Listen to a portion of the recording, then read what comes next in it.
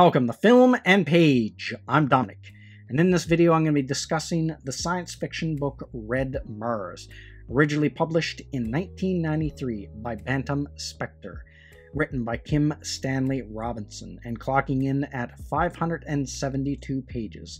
In this video, we'll be looking at the paperback edition. So this is my copy of Red Mars, and it's your standard paperback. Now, this is an older edition that I bought at a used bookstore a while back uh, because when I originally picked up the trilogy of books, one of the, the, the first edition I had of Red Mars actually was a newer edition, and the newer editions have different covers. And it's just a really simple graphic design, and I really don't like those new covers. I think they're atrocious looking, and I don't think they do a good job of selling what an epic sci-fi story this is. Unlike this cover, like you look at this cover, the design is amazing. The artwork on it just tells you you're going to get into a really epic story. This is going to be a real good ride.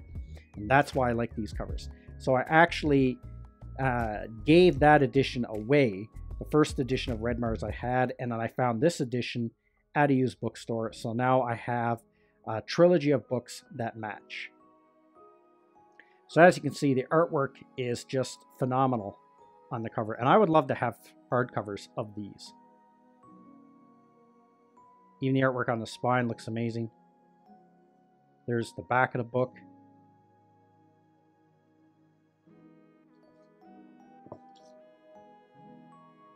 And we even get, uh, and you can see in the table of contents, is divided up into parts. And each part is told from a different character's perspective, which is interesting. And we even get a map. And I like when books have maps in them. Uh, I really like that. So that is my copy of Red Mars. In the year 2026, humanity has finally begun the colonization of Mars, sending the first 100 humans there in the spaceship Ares, led by John Boone, the first man on Mars, Frank Chalmers, Maya Toitovna, and Arkady Bogdanov. They will be pioneers that will forge a new path for humanity on this unforgiving and dangerous world. Can they create a society better than what they left behind on Earth? For this may prove the greatest challenge of all. So, this was the last book I read for 2022, and I got it just in under the wire. Now, as far as the plot goes, it's pretty straightforward. It's all about the first 100 humans going to Mars and starting the first human colony on Mars and all the challenges that comes with that.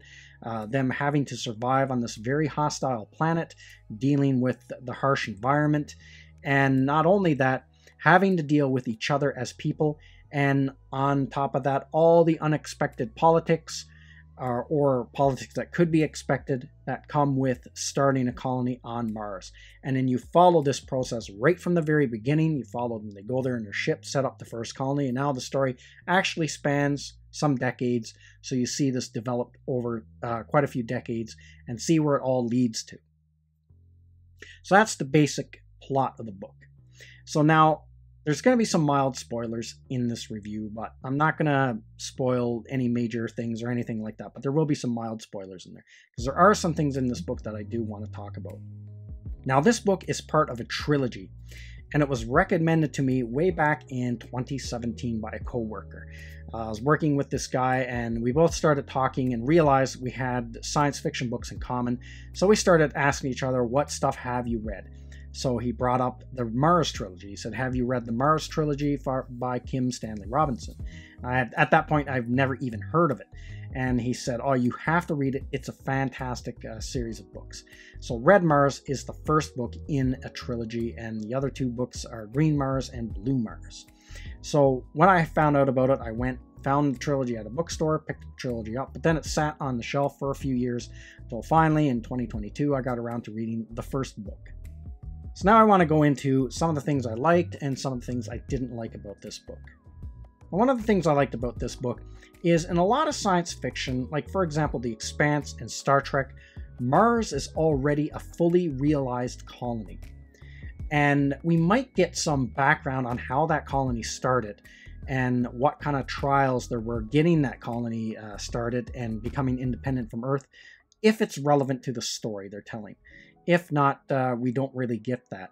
So Mars is already like an established thing. So it was cool to read a science fiction book that was all about starting a colony from scratch and seeing where that goes and following that over decades. I thought that was really cool and really interesting idea. And the other thing is I like about this this story is it, it's it's a pretty hard sci-fi story. Like there's not very many over the top science fiction elements in it. So the world that you're in, this whole story feels very real and very believable. And because uh, it is a pretty hard sci-fi book, uh, or a very hard sci-fi story, much like 2001: A Space Odyssey or even The Expanse, but it feels even more real than them, because even in uh, 2001 you have the uh, you know the monolith that's almost like a magical technology, and then in The Expanse you have that ancient alien technology, and then you have the other non-corporeal aliens or life forms or whatever they are that humans have to deal with. There's nothing like that in Red Mars. It's all just very realistic technology you know, the, the author did a lot of research into this, so it's a very believable world. Now, the other thing that I really liked about this book was I really liked the way the characters were written. So we follow a few characters. We follow some of the, the, the hundred, as they're called, the first hundred colonists. We don't follow all of them, but we do follow like uh, uh, like some of the more well-known ones or the more famous ones, the leaders of the group. And what I liked about this book, it's divided up into different parts, and each part you follow a different character, so you get to see that see the world through that character's eyes. So depending on if you're following that character from their point of view, you get one perspective on that character. Then later on in the book, when you're reading from another character's point of view, you get to see how that character plus the other characters perceive that one that you just had finished reading. So depending on which perspective you're at. It kind of changes your perspective or your the way you view the characters. So I thought it was really interesting and really well done. Now, the other thing I liked about this story was the politics in this book was very well done. And uh, what I liked about it is you have these people on Mars, they settle on Mars, but right away you have problems in the fact that there's no okay, we're setting up this colony, but there's no long term plan of what are we going to do with Mars now that we're here. And this is where all the problems start. So you have a group of people who want to leave Mars alone, basically, and just leave it and preserve it as it is and study it as it is. And then you have another group, they want to terraform it and make it more habitable for humans. And then you have people that kind of fall in between, and then you have some other people that are siding with these big transnational uh, companies and uh, conglomerates, and they just want to strip mine the shit out of Mars for everything they can and send it all back to Earth. What's interesting about this, you have like these ideological battles going on with these different characters, and you can't help but side with one side or the other. You, you can't help it. So, for example, there's one character in the book, Anne. I have to be honest, I hated this character. I really did.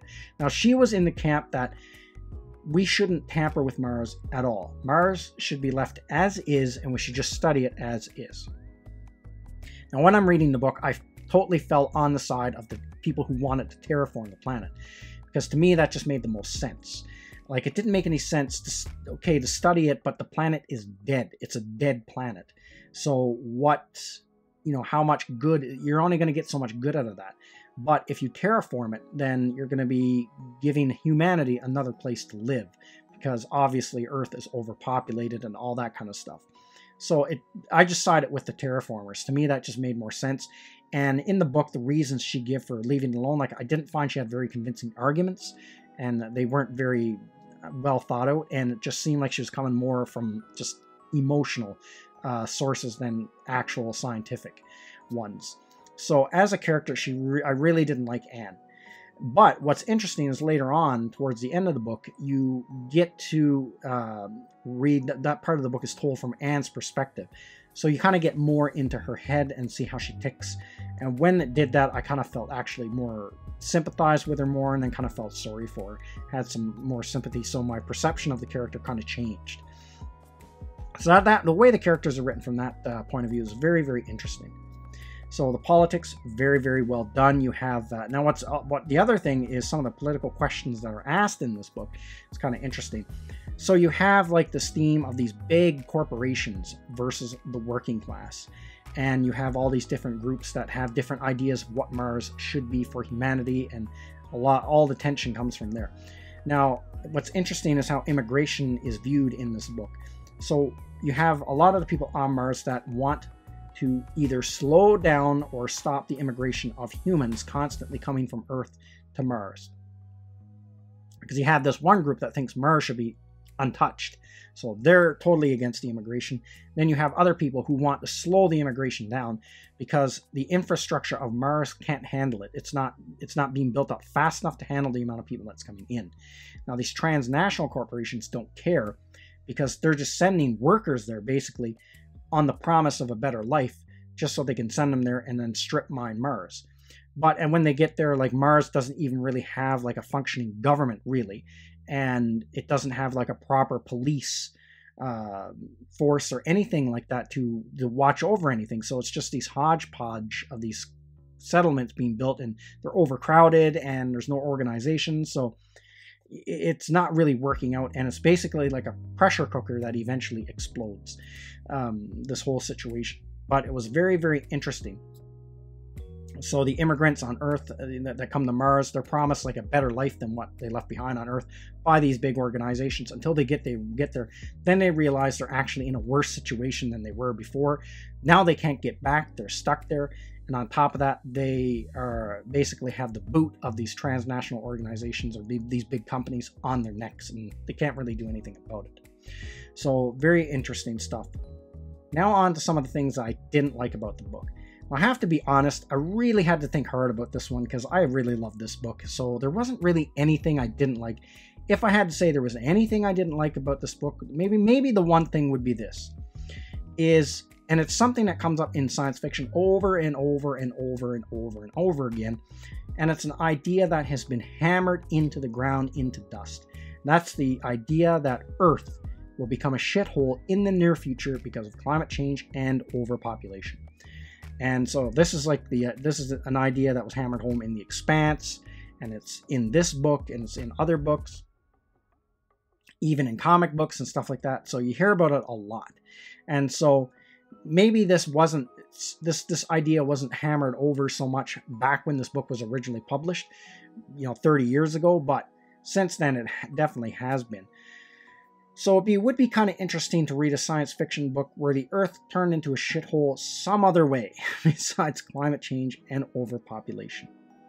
But with that said, that was not a big major deal. That's if I had to find something, some fault with it, it would be that.